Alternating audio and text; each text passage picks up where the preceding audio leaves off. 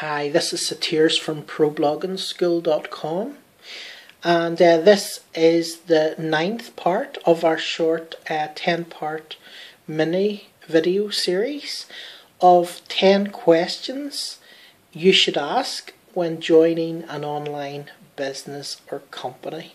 Okay, and this is part 9 and uh, question number 9 I would ask would be what products do I need? What products or tools do I need to buy to be successful in this business or in this company? Okay.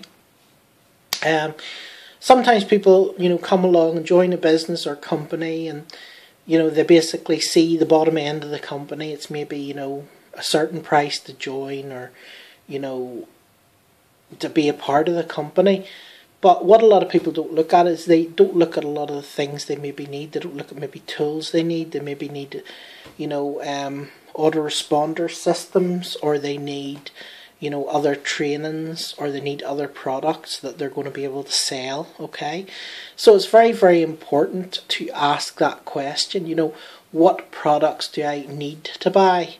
To be successful. Okay, so because there's no point in you joining the business and not buying the products that you need to actually be successful. You could come in, you know, buy the cheapest product and think you're joining the company, but if the people who are successful in the company haven't bought the bottom products, if they've maybe bought the top end products, or you know, if they're using other tools, um, then you need to have an idea of what you're going to have to pay to be able to get access to those tools and things that they are using to be successful. So always ask that question What products do I need to buy to be successful in this uh, online business or company? Um, if you haven't already, if you would just like to click the button below to subscribe to my channel, and you'll get my latest videos as they come in. And um, if you're um, if you'd like to comment as well, that would be much appreciated. If you've any comments, just put the comments in below. And if you'd like to click the like button, that would be great as well.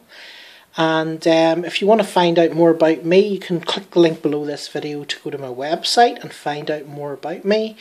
And if you're already on my website and you're watching this video, uh, to find out more about what what I'm actually doing, if you just click the big button just below the video here and you'll be able to find out more about my business.